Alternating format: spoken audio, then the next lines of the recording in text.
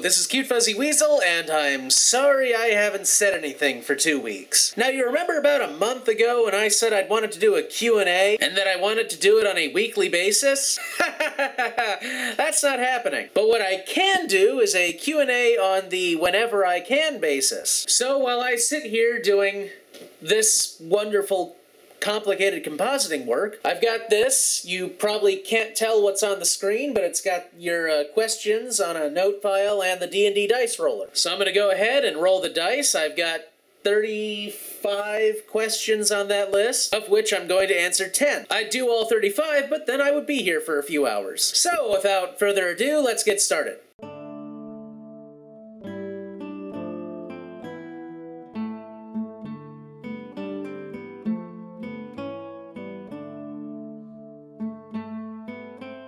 Gotta make a list. Well, I'm, I'm, I'm partial to horror movies. I don't know. It depends on the story. The truly frightening movies for me are the ones that are plausible, I guess. So zombie movies are kind of way out there for me, but uh, things like Contagion, I would say, are a, that's a horror movie. I haven't seen it, but I suspect it would be frightening. No alien invasion movies. The alien invasion movies never made any sense for me. I mean, why would aliens invade Earth? It's like that Battle LA movie where they come down and they're trying to steal our water when there's plenty of water in the asteroid belt and on other planets without a populace of well-armed crazy people. Um, I guess if someone if someone were to make a movie about a true economic collapse, not like the 2008 one. I mean like everything is gone. Like no one has any money. That kind of movie. That I would consider kind of a horror movie. Sort of horror movie, uh, you know, but it, it's just whatever is more realistic. That's those are the kind of movies that I like.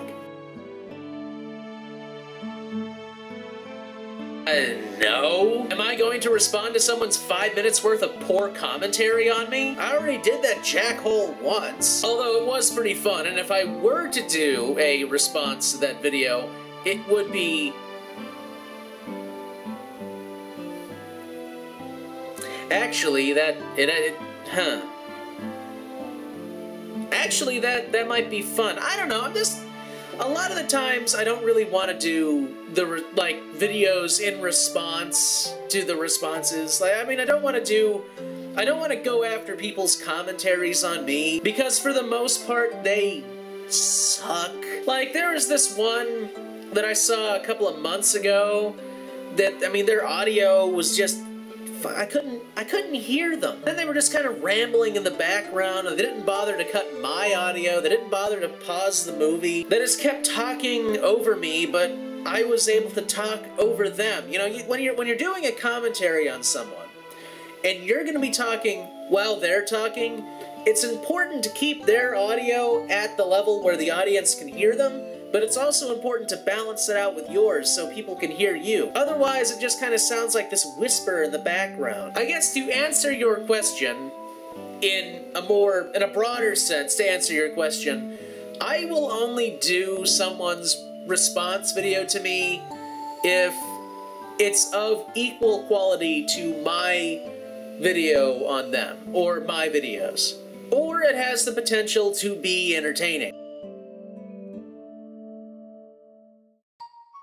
He's never contacted me, but I suspect he knows about my videos. Although I also suspect that he's not smart enough to actually get in touch with me. Like, I doubt the guy even really knows how to make a video response to someone. Actually, I'm pretty sure the guy doesn't know about a lot of things, but responding to me would be one of those things he doesn't know about. That and how to shave properly. And anything about the Bible. And anything about modern society and anything about anything. James the Preacher is just fucking stupid.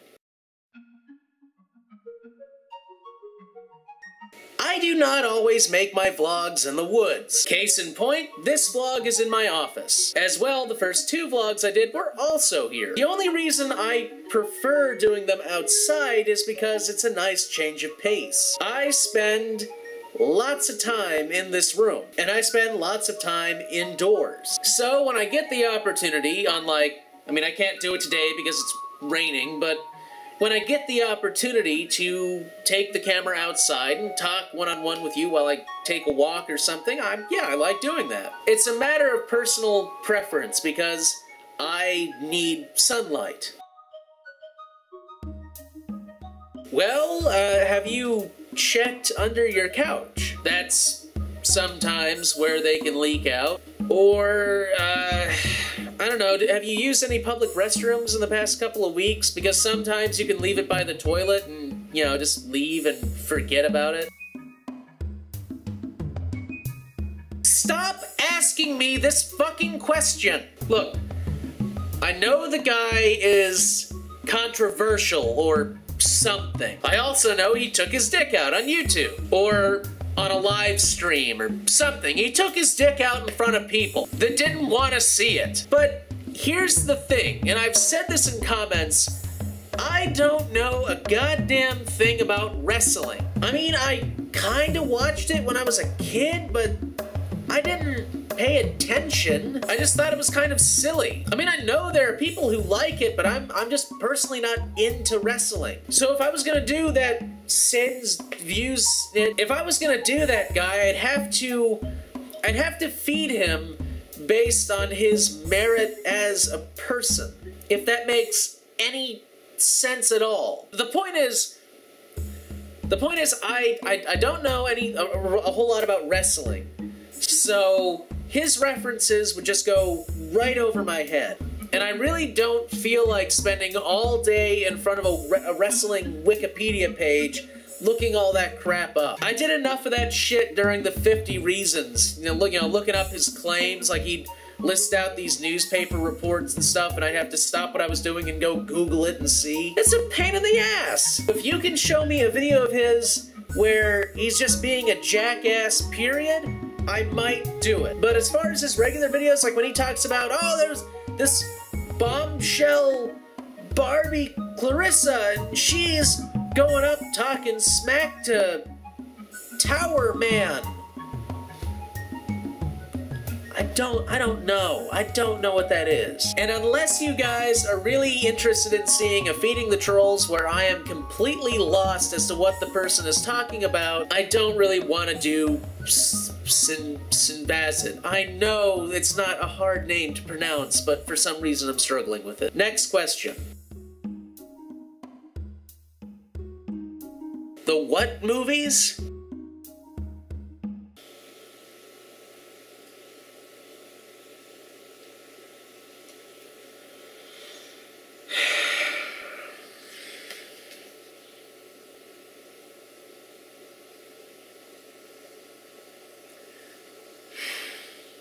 I've lost my faith in jellyfish.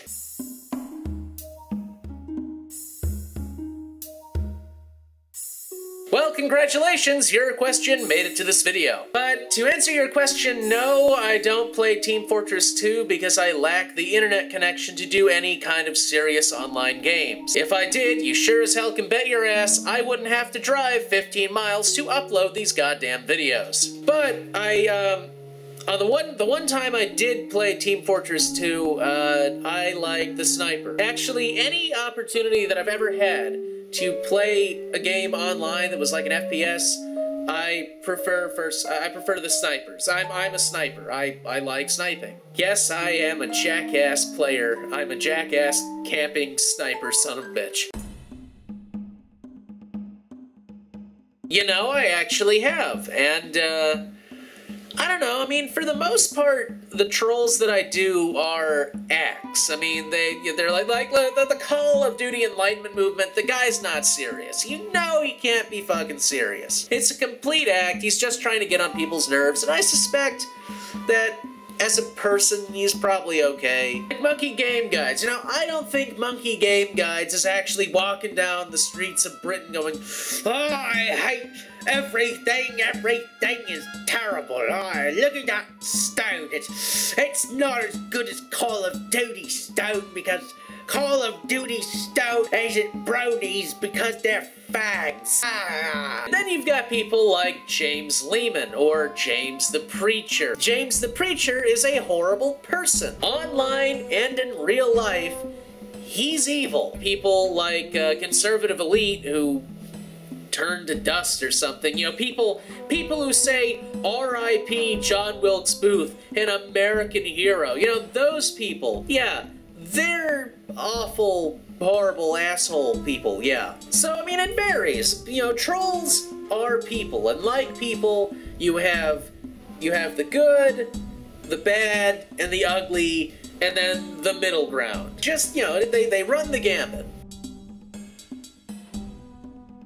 Ah, well, clearly, uh, given my last vlog, well, actually, given the vlog that I had a couple of months ago, I live in North Carolina, home of some really great people and some of the best wine on the fucking planet. Anyway, this is Cute Fuzzy Weasel. Thank you for your questions. This was actually uh, a lot funner than I thought it was going to be. If you have any questions you want me to answer, list them in the comments below. Please, only one question per user just to make my job a little easier because when you have multiple questions, I have to feed that through the dice roller to randomly pick out the one that goes on the list. Anyway, you guys have a good day, and hopefully around the same time this video goes out, a new Feeding the Trolls and a new Brody's Mind will be out as well. So, you know, here's crossing my fingers and hoping I can actually make that deadline.